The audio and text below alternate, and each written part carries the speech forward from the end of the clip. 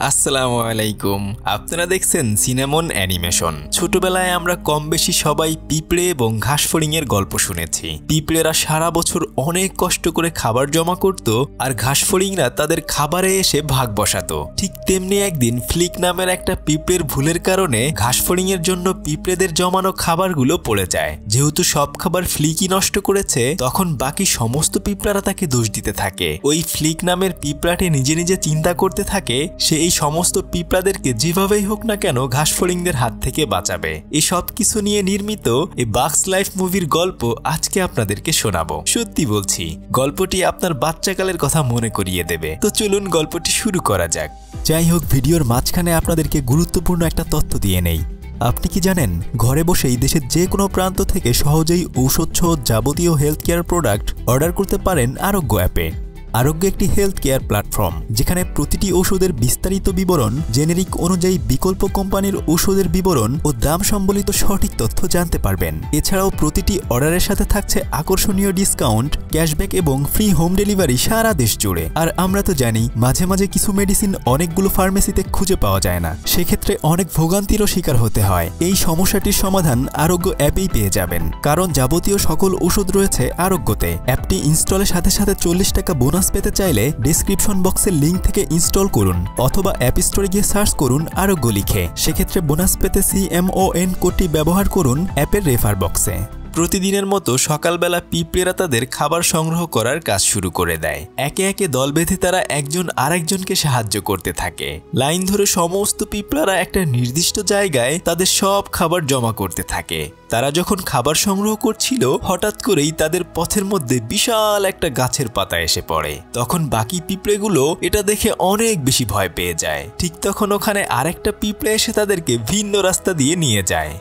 যাই হোক, তারা যেখানে কাজ করছিল, তাদের পাশেই পিঁপড়েদের রানী এবং রাজকুমারী এটা ছিল। রানী তার মেয়ে এটাকে বোঝাচ্ছিল, দেখো, এই গ্রীষ্মকাল জুড়ে আমাদেরকে অনেক অনেক কাজ করতে হয়। যেন আমরা শীতকালে এই খাবারগুলো খেতে পারি। শুধু তাই নয়, আমরা যে খাবারগুলো এখন জমা করে রাখি, এই খাবার থেকে ঘাসফড়িংরাও তাদের ভাগের খাবার নিয়ে যায়। ওরা বছরের উপর বছর আমাদের উপর জুলুম করে আসছে। কিন্তু আমাদের আর কিচ্ছু করার নেই। যাই হোক কিছুক্ষণ পরে ওখানে রানীর ছোট্ট মেয়েটি চলে আসে। তার খুব ইচ্ছা সে বাকি পিঁপড়াদের মতো উড়ে বেড়াবে। বুঝতেই পারছেন, যেমন আমরা ছোটবেলায় ভাবতাম, ইস, আমরা কবে বড় হব? আর বড় হয়ে ভাবি, ছোটবেলাটাই আমাদের অনেক ভালো ছিল, তাই না বলুন? যাই হোক, তারা যখন কথা বলছিল, ঠিক তখনই ওখানে হঠাৎ করে এক একটা বড় বড় ঘাস পিঁপড়াদের উপরে এসে পড়ে। প্রথমে তারা অনেক বেশি ভয় পেয়ে যায়, তবে একটু পরে বুঝতে পারে যে এটা আসলে ফ্লিক নামের একটা পিঁপড়া করেছে। রাজকুমারী এটা গিয়ে তাকে বলে, ফ্লিক, তুমি কি করছ?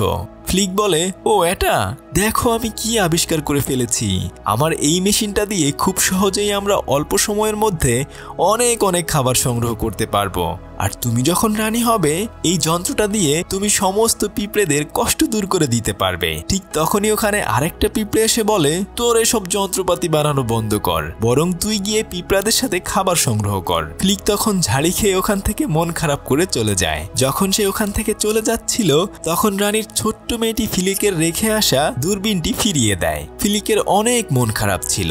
তাই সে তাকে বলে, তুমি এই দূরবীনটি তোমার কাছেই রেখে দাও, আমি আরেকটা বানিয়ে নেব। কিন্তু পিচ্চি পিঁপড়াটি বলে, তোমার আবিষ্কার আমার অনেক ভালো লাগে। আর আমি বিশ্বাস করি একদিন তুমি আসলেই আমাদের জন্য অনেক ভালো কিছু আবিষ্কার করবে। এটা শুনে ফ্লিকের মন একটু ভালো হয়ে যায়। কিন্তু কিছুক্ষণের মধ্যেই ওখানে অনেক শব্দ করে সাইরেন বাজতে থাকে। কেননা যখন ওখানে ঘাসফড়িংরা আসে, তখন সমস্ত পিঁপড়াদের সতর্ক করার জন্য তারা সাইরেন বাজিয়ে দেয়। এখন ঘাসফড়িংদের আসার সময় হয়েছে। তাই রাজকুমারী সমস্ত পিঁপড়াদেরকে বলে, তোমরা ওখানে খাবার জমা করে বাসার মধ্যে লুকিয়ে পড়ো। সমস্ত পিঁপড়ারা তখন দল বেঁধে মাটির ভেতরে তাদের বানানো বাসার ওখানে চলে যায়। রাজকুমারী এটা খুঁজে দেখে বাইরে এখনও কেউ রয়েছে কিনা। সে কাউকে দেখতে না পেয়ে নিশ্চিন্তে বাসার ভেতরে যায়। কিন্তু ওদিকে ফ্লিক সবার পেছনে পড়েছিল। তাই সে তখন দৌড়াতে থাকে বাসায় ফেরার জন্য। কিন্তু দুর্ভাগ্যক্রমে যেখানে ঘাসফড়িং এর জন্য জমানো খাবার রাখা ছিল, ঠিক ওখানে তার আবিষ্কার করা সেই যন্ত্রটি পড়ে গেলে খাবারগুলো একদম নিচে পড়ে যায়। ফ্লিক অনেক চেষ্টা করেও খাবারগুলো আর বাঁচাতে পারে না। তখন ফ্লিক দৌড়ে এসে রানীকে এসব কথা বলতে চায় কিন্তু রানী সহ বাকি সমস্ত পিঁপড়েরা ঘাসফড়িং এর কারণে খুব ভয়ে ছিল। তারা তখন অপেক্ষা করতে থাকে, কখন ঘাসফড়িংরা ওখান থেকে খাবার নিয়ে চলে যাবে।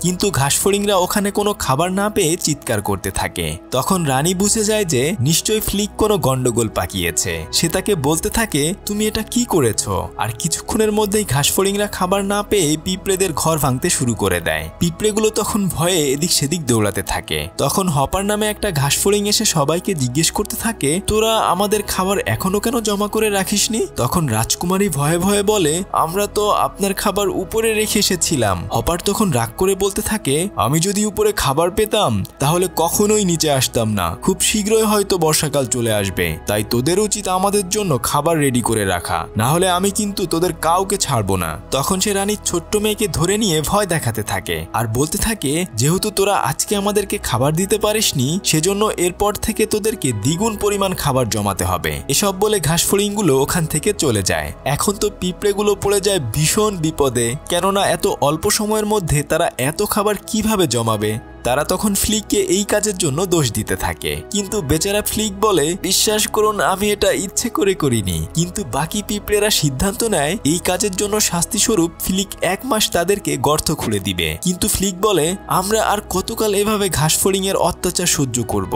এর চেয়ে আমি বরং আমাদের পাশের নদীটি পার হয়ে অন্য পাশে গিয়ে আরও অনেক অনেক শূন্য নিয়ে আসি, যেন আমরা ঘাসফড়িং এর সাথে যুদ্ধ করে জিততে পারি। কিন্তু তখন ওখানে থাকা ঘাসফড়িংগুলো বলতে থাকে, আমাদের এই পিঁপড়া কলোনি থেকে যদি আমরা নদী পার হয়ে ওপারে যাই, তাহলে ওখানে থাকা বড় বড় পাখিগুলো আমাদেরকে খেয়ে ফেলবে। কিন্তু ফ্লিক বলে, ওদের সাথে আমরা বন্ধুত্ব করে ওদেরকে এখানে নিয়ে আসব। এরপর এখান থেকে ঘাস ফড়িংদেরকে তাড়িয়ে দেব। শুরুতে সমস্ত পিঁপড়েগুলো তার এই বুদ্ধিতে রাজি হয় না। কিন্তু কিছুক্ষণ পরে তারা সবাই বলতে থাকে, যদি আমরা এটা করতে পারি, তাহলে অবশ্যই ঘাস ফড়িং এর হাত থেকে বাঁচতে পারব। এরপর তারা ফ্লিককে সৈন্য নিয়ে আসার জন্য অনুমতি দেয়। পরদিন সকালবেলা সমস্ত পিঁপড়েরা আবার খাবার সংগ্রহ করার কাজে লেগে পড়ে। আর ফ্লিক তাদের সবাইকে বিদায় জানিয়ে নদীর ওপার থেকে সৈন্য আনার জন্য রওনা হয়। নদীর কাছে গিয়ে সে দেখে যে নদীর ভিতরে এখনও অনেক কাদা রয়েছে। তাই সে তখন বুদ্ধি করে একটা ফুলের পাপড়ি ধরে প্যারাশুট বানিয়ে এপার থেকে ওপারে পার হয়ে যায়। আর নদীর অন্য পাশেই ছাড়পোকাদের একটা শহর ছিল, যেখানে ছোট্ট ছোট্ট মৌমাছি এবং ছাড়পোকা আরও কিছু ঘাস পোকা সার্কাস দেখাচ্ছিল।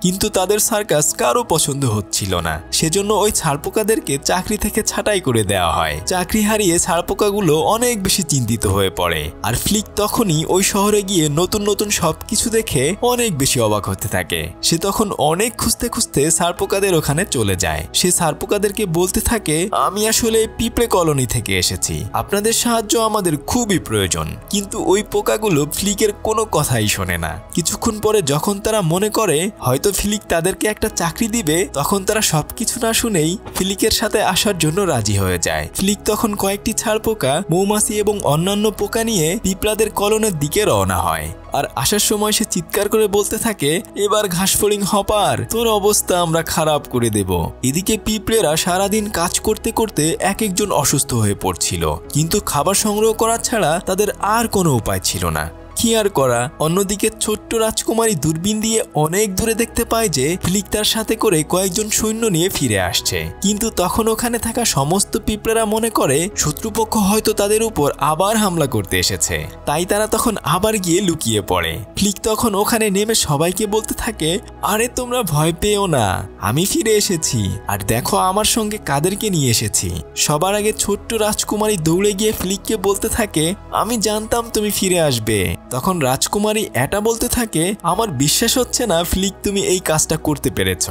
যাই হোক, কিছুক্ষণ পরে একটা পোকা পিঁপড়াদেরকে বলতে থাকে, বন্ধুরা, তোমরা একদমই চিন্তা করো না। তোমরা শুধু চেয়ে চেয়ে দেখো ঘাসফড়িংদের অবস্থা আমরা কি করে ফেলি। তখন সমস্ত পিঁপড়ারা খুশি হয়ে একটা পার্টির আয়োজন করে। আর ওই পার্টিতে ছোট্ট ছোট পিঁপড়ারা দেখাতে থাকে ছাড়পোকাগুলো কীভাবে ঘাসফড়িংদেরকে মেরে ফেলবে? এর কারণে হয়তো কিছু ছাড়পোকাও মারা যাবে। পিঁপড়েদের রানী ছাড়পোকাদের প্রতি অনেক বেশি কৃতজ্ঞতা প্রকাশ করে। কিন্তু সারপোকারা তখন ঘাসফড়িংদের সাথে লড়াইয়ের কথা শুনে ভয়ে ওখান থেকে পালাতে থাকে। ফ্লিক গিয়ে তখন তাদেরকে বলতে থাকে, তোমরা আমাদেরকে এভাবে রেখে চলে যেতে পারো না। কিন্তু সারপোকাগুলো বলতে থাকে, তুমি আমাদেরকে এখানে চাকরির লোভ দেখিয়ে এনেছ। কিন্তু আমরা কখনোই ঘাসফড়িং এর সাথে লড়াই করে পারব না। কিন্তু ফ্লিক তাদের হাতে পায়ে ধরে তাদেরকে বোঝাতে থাকে। কিন্তু ছাড়পোকাগুলো ফ্লিকের কোনো কথা না শুনেই ওখান থেকে রওনা দেয়। যখন ছাড়পোকাগুলো নদী পার হয়ে চলে যাচ্ছিল, ঠিক তখন ছোট রাজকুমারী একটা ফুলের পাপড়ি ধরে উড়ে উড়ে দেখছিল তারা আসলে কি করছে। নদীর ওপাশে একটা পাখির বাসা ছিল। আর তারা ভুল করে ওই পাখির বাসার কাছে চলে যায়। তারা যখন ওখানে যায়, ঠিক তখনই ওখানে পাখিটি চলে আসে। পাখিটা তাদের আক্রমণ করতে গেলে তারা কোনো রকম ওখান থেকে তাদের জীবন নিয়ে পালাতে থাকে। কিন্তু ছোট্ট পিঁপড়ে রাজকুমারী ডট তো উঠতে পারে না। তাই তখন পাখিটি এসে তাকে আক্রমণ করতে চায়। তখনই ঝাড়পোকাদের একটা পোকা গিয়ে ওই ছোট্ট পিঁপড়াটিকে বাঁচিয়ে নেয়। এর ফলে ওই পোকাটির পায়ের উপরে ছোট্ট একটা পাথরের টুকরো আটকে যায়। কিন্তু ছোট্ট পিঁপড়েটি অনেক কষ্ট করে তাকে ওখান থেকে ছাড়িয়ে নেয়। তবে পাখিটা এখনও তাদের পিছু ছাড়েনি। তাই ছাড়পোকাগুলো বুদ্ধি করে আরেকটা পোকাকে উঁচু করে ধরে। আর ওটা দেখেই পাখিটা তাদেরকে ছেড়ে ওই পোকাটির দিকে আসতে শুরু করে। আর এই সুযোগে কয়েকজন মিলে ওখানে পড়ে থাকা পিঁপড়েটি আর ছাড়পোকাকে তারা বাঁচিয়ে নেয়। পাখিটা তখন তাদেরকে খাওয়ার জন্য অনেক চেষ্টা করতে থাকে। কিন্তু সে আর পারে না। পিঁপড়ে এবং ছাড়পোকাগুলো পাখিদের হাত থেকে বেঁচে যায়। তখন এটা দেখে সমস্ত পিঁপড়েরা হাততালি দিতে থাকে। এই প্রথম এত বেশি হাততালি পেয়ে ছাড়পোকাগুলো অনেক বেশি খুশি হয়ে যায়। পিঁপড়েরা তখন আঘাত পাওয়া ছাড়পোকাটিকে চিকিৎসা করতে থাকে। রাজকুমারী এটা তখন ফ্লিককে আড়ালে নিয়ে বলে, তুমি আমাকে মাফ করে দাও। আমি তোমাকে অনেক ভুল বুঝেছি। তখন ফ্লিক বলে, আরে না, আমি কিছুই মনে করিনি। তখন রাজকুমারী এটা বলে, ইস, আমাদের যদি পাখিদের মতো অমন শক্তিশালী বন্ধু থাকতো, তাহলে আমরা অবশ্যই ঘাসফড়িংকে তাড়াতে পারতাম। কেননা ঘাসফড়িংগুলো পাখিকেও অনেক বেশি ভয় পায়। এটা শুনেই ফ্লিক বলে, বাহ, আমার মাথায় একটা নতুন আইডিয়া চলে এসেছে। সে তখন ওখান থেকে দৌড়ে এসে সারপোকাদের বলতে থাকে, শোনো, আমার মাথায় একটা বুদ্ধি এসেছে। তোমাদের কাউকেই মারা যেতে হবে না। আর ঘাসফড়িং এর সাথে যুদ্ধ করার আগেই তোমরা এখান থেকে চলে যেতে পারবে। তখন ছাড়পোকাগুলো বলতে থাকে আচ্ছা বলো দেখি তোমার মাথায় কি বুদ্ধি এসেছে? তখন ফ্লিক বলে, আমরা যদি কোনোভাবে একটা নকল পাখি তৈরি করতে পারি, তাহলে কিন্তু ঘাসফড়িংদেরকে তাড়াতে পারব। ফিলিকের এই কথা শুনে ছাড়পোকাগুলো রাজি হয়ে যায়। তারা সবাই মিলে বুদ্ধি করতে থাকে, যখন ঘাসফড়িংগুলো গাছের নিচে আসবে, তখন তাদেরকে ওখানে এই পাখিটির ভয় দেখিয়ে তাড়িয়ে দেব। এই কথা শুনে বাকি সমস্ত পিঁপড়েরা অনেক বেশি খুশি হয়ে যায়। পরদিন সকালবেলা তারা সবাই মিলে পাখি বানানোর কাজ শুরু করে দেয়। একটা পাতাকে কেটে কয়েকজন মিলে ওটাকে উপরে নিয়ে যায়। সূর্যের আলো পড়ে ওটা একটা পাখির মতো দেখায়। তখন খুব দ্রুত পিঁপড়েগুলো গিয়ে ওই পাখির একটা নকশা বানিয়ে ফেলে। এরপর তারা সবাই মিলে ছোট্ট ছোট্ট ডালপালা দিয়ে পাখি বানানোর কাজে লেগে যায়। দেখতে দেখতে তারা হুবহু পাখির মতো দেখতে একটা নকল পাখি বানিয়ে ফেলে। তারপর তারা সবাই রশি দিয়ে বেঁধে ওই নতুন পাখিটাকে গাছের উপরে ঝুলিয়ে রাখে। অপরদিকে অলস ঘাসফড়িংগুলো তাদের বাসায় খায় দেয় আর মজা করতে থাকে। তখন হপারের ভাই আরেকটা ঘাসফড়িংকে বলে, আমরা এভাবে পিঁপড়েদের উপর অত্যাচার না করলেও পারি। তাছাড়া আমাদের কাছে এখন যথেষ্ট পরিমাণ খাবার মজুদ রয়েছে। এই কথা শুনে তখন হপার বলে, আরে বোকার দল, যদি আমরা এভাবে পিঁপড়েদেরকে ছেড়ে দেই, তাহলে ওরা সবাই দলবদ্ধ হয়ে আমাদের উপর আক্রমণ করবে। আমাদেরকে ওরা আর কখনোই ভয় পাবে না, আর আমরা ওদেরকে ভয় দেখিয়ে খুব সহজেই খাবার ছিনিয়ে আনতে পারব না। আর তাছাড়া সেদিন একটা পিঁপড়ে আমাদেরকে চ্যালেঞ্জ করেছিল। কালকে হয়তো আরও একশোটা পিঁপড়ে আমাদের বিরুদ্ধে যুদ্ধ করতে আসবে। তাই আমরা এখনই পিঁপড়েদের কলোনিতে গিয়ে খাবার নিয়ে আসব। এই বলে তারা রওনা দেয়। অপরদিকে পিঁপড়ে এবং ছাড়পোকা সবাই মিলে খুব বেশি মজা করছিল। তারা ভাবছিল, এবার হয়তো ওই পাতার পাখিটিকে দেখিয়ে ঘাসফড়িংদেরকে বোকা বানানো যাবে। ফ্লিক তখন চুপি চুপি ছাড়পোকাদেরকে বলতে থাকে, তোমাদের কাজ শেষ। তোমরা চাইলে এখন এখান থেকে তোমাদের ইচ্ছে মতো চলে যেতে পারো। আমি আর তোমাদেরকে এখানে আটকে রাখব না। কিন্তু ছাড়পোকাদেরও এখানে অনেক বেশি ভালো লাগছিল। তাই তারা আরও কয়েকটা দিন এখানে থেকে যেতে চাচ্ছিল। রাজকুমারী এটা ফ্লিকের সব বুদ্ধি দেখে তার উপর একটু একটু ইমপ্রেস হতে শুরু করে। সে মনে মনে ফ্লিককে পছন্দ করতে থাকে। কিছুক্ষণের মধ্যেই ওখানে ঘাসফড়িংরা চলে আসে। কয়েকটা পিঁপড়া দূরবীন দিয়ে তাদেরকে দূর থেকে দেখেই হুইসেল বাজিয়ে দেয়। পিঁপড়েরা তখন দলে দলে তাদের কাজে লেগে পড়ে। কিন্তু কিছুক্ষণ পরেই দেখা যায়, ওখানে আসলে আরেকটা গাড়ি এসেছে। ঘাসফড়িংরা কেউ এখনও আসেনি। এই গাড়িটা আসলে নদীর ওপারে সার্কাস দেখানো গাড়ির মালিকের ছিল। সার্কাসের মালিক ওখানে এসে সমস্ত সারপোকাগুলোকে ফেরত নিয়ে যেতে চায়। তাই সে একটা পোস্টার দেখিয়ে পিঁপড়াদের সবাইকে বলতে থাকে, তোমরা কি এই ছাড়পোকাগুলোকে দেখেছ? তখন সমস্ত পিঁপড়েরা বুঝে ফেলে, আসলে ফ্লিক যে ছাড়পোকাদের এখানে সৈন্য বলে নিয়ে এসেছে, ওরা আসলে সার্কাসের জোকার। তখন সমস্ত পিঁপড়েরা ফ্লিককে বলতে থাকে, তুমি আমাদেরকে এত বড় ধোকা দিতে পারলে? এটা বলতে থাকে, আমি তোমাকে অনেক বেশি বিশ্বাস করেছিলাম। তুমি আমাদের সমস্ত পিঁপড়াদেরকে ঠকিয়েছ, আর আমার হৃদয়টা ভেঙে টুকরো টুকরো করে দিয়েছ। তখন ফ্লিক বলে, আমি সবসময় আমাদের পিঁপড়াগুলোকে বাঁচাতে চেয়েছি। কিন্তু এটা তখন রাগ করে বলে, তুমি আর কখনোই আমাদের এখানে ফিরে আসবে না। তোমার মতো মিথ্যাবাদীর এখানে কোনো জায়গা নেই। আমরা নিজেরাই নিজেদের সমস্যা সমাধান করতে পারব। ফ্লিক তখন মন খারাপ করে ছাড়পোকাদের সাথে ওখান থেকে চলে যায়। কিন্তু ছোট্ট পিঁপড়া ডট ফ্লিকের জন্য কান্না করতে থাকে। পরদিন সূর্য ওঠার সাথে সাথেই ঘাসফড়িংরা দলে দলে পিঁপড়েদের কলোনিতে চলে আসে। তখন পিঁপড়াদের রানী বলতে থাকে, আমরা খুব অল্প পরিমাণ খাবার জমা করেছি। আমি জানি না ঘাসফড়িংদেরকে কি জবাব দিব। তখন ঘাসফড়িংগুলো ওখানে এসে অল্প পরিমাণ খাবার দেখে পিঁপড়াদেরকে বলতে থাকে, বজ্জাতের দল, তোদেরকে আমি অনেক সময় দিয়েছিলাম। কিন্তু তোরা মাত্র এইটুকুন খাবার জমিয়েছিস আমাদের জন্য? এখনই যা, এখানে যত খাবার আছে সব আমাদের জন্য নিয়ে আয়। তখন সমস্ত পিঁপড়েগুলো ভয়ে ভয়ে ওখান থেকে পালাতে থাকে। কিন্তু হপার এসে রানীকে বন্দি করে ফেলে। ছোট্ট পিঁপড়া ডট খুব সাহসের সাথে কয়েকটা পিঁপড়াকে নিয়ে একটা ঘাসের ভেতরে লুকিয়ে থাকে। তখন ওখানে দুটো ঘাস ফড়িং একে অপরকে বলছিল, এখান থেকে আমরা খাবার নিয়ে যাব এবং রানীকে বন্দি করে নিয়ে মেরে ফেলব, যেন পিঁপড়েরা সারা জীবনের জন্য আমাদেরকে অনেক বেশি ভয় পায়। আর ওরা ওদের লিডারকে হারিয়ে ফেলে। ছোট্ট পিঁপড়াটি এসব ষড়যন্ত্রের কথা গোপনে শুনে ফেলে। সে যখনই ওখান থেকে চুপি চুপি বের হতে যাবে, ঠিক তখনই তার সামনে একটা ঘাস ফড়িং চলে আসে। ঘাস ফড়িংটা তখন তাকে আক্রমণ করতে চায়। সে তখন নিজের জীবন বাঁচানোর জন্য ঘাসের ভেতর দিয়ে এদিক সেদিক ছোটাছুটি করতে থাকে। কিন্তু তবুও ঘাস ফড়িংটা তার পিছু ছাড়ছিল না। সে তখন দৌড়াতে দৌড়াতে একদম নদীর কিনারায় চলে আসে। ছোট্ট একটা পাথরের ওখানে নিরুপায় হয়ে সে দাঁড়িয়ে থাকে। সে অনেক চেষ্টা করে ওড়ার জন্য। ঠিক যখনই ঘাসফড়িংটা তাকে ধরতে যাবে, আর তখনই সে একদম নিচে পড়ে যায়। ঘাসফড়িংটা তখন মনে করে, যাক, এইবার হয়তো এই পিঁপড়াটি মারা গেছে। তাই সে তখন ওখান থেকে চলে যায়। কিন্তু কিছুক্ষণ পরে দেখা যায়, পিঁপড়াটি এখন উড়তে পারে। সে নিজের চোখে বিশ্বাস করাতেই পারছিল না যে সে এখন উড়ছে। এটা দেখে সে অনেক বেশি অবাক হয়ে যায়। ওদিকে ছাড়পোকাদের গাড়িতে ফ্লিক অনেক বেশি মন খারাপ করে বসেছিল। তখন ছাড়পোকাগুলো বলতে থাকে, তুমি এত বেশি চিন্তা করো না। আমাদের সাথেও তুমি অনেক বেশি ভালো থাকবে।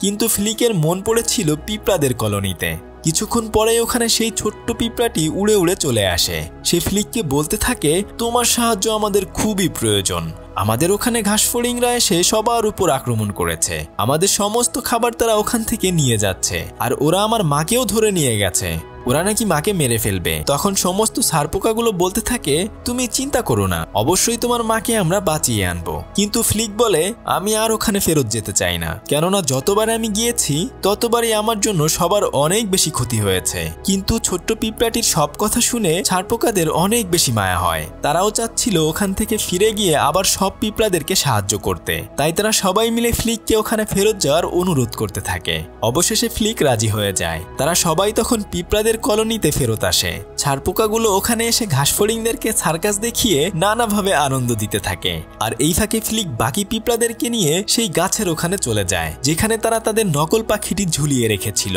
একটা পিঁপড়া দূরবীন দিয়ে নিচে দেখতে থাকে। তখন ওখানে একটা ছাড়পোকা প্রজাপতির মতো খেলা দেখিয়ে ঘাসফড়িং এর চোখে ধুলো দিয়ে পিঁপড়েদের রানীকে লুকিয়ে ফেলে। ঘাসফড়িং এর রাজা পিঁপড়ের রানীকে না দেখতে পেয়ে রাগ করে সবার উপর আক্রমণ করতে যায়। আর ঠিক তখনই পিঁপড়েরা উপর থেকে সেই পাখিটাকে নিচে নামিয়ে দেয়। সমস্ত ঘাসফড়িংরা এত বড় পাখি দেখে তখন ওখান থেকে ভয়ে পালাতে শুরু করে। এসব কিছু দেখেই পিঁপড়েরা অনেক বেশি খুশি হয়ে যায়। বারবার তারা ওই নকল পাখিটাকে উড়িয়ে উড়িয়ে ঘাসফড়িংকে ভয় দেখাচ্ছিল। কিন্তু দুর্ভাগ্যক্রমে ওখানে রাখা সেই সার্কাসের গাড়িটা একবার পাখিটির সাথে লেগে পড়ে যায়, যার ফলে ওই সার্কাসের মালিক তার গাড়ি ভেঙে ফেলার কারণে অনেক বেশি রেগে যায়। সে তো জানতো না আসলে পাখিটা নকল। বেটা তখন রাগ করে একটা ম্যাসের কাঠি দিয়ে ওই পাখিটাকে আগুন ধরিয়ে দেয়। তখন নকল পাখিটা নিচে পড়ে যায়। ফ্লিক জলদি করে পাখির ভেতরে থাকা সমস্ত পিঁপড়াদেরকে বাইরে বের করে আনে। কিন্তু হপার তখন ছোট্ট পিঁপড়াটিকে ধরে বলতে থাকে, বল, এই আইডিয়াটা কে বের করেছে? না হলে আমি এই পিঁপড়াটিকে মেরে ফেলব। তখন ওই পাখির ভেতর থেকে ফ্লিক বের হয়ে বলে, এই বুদ্ধিটা আমার।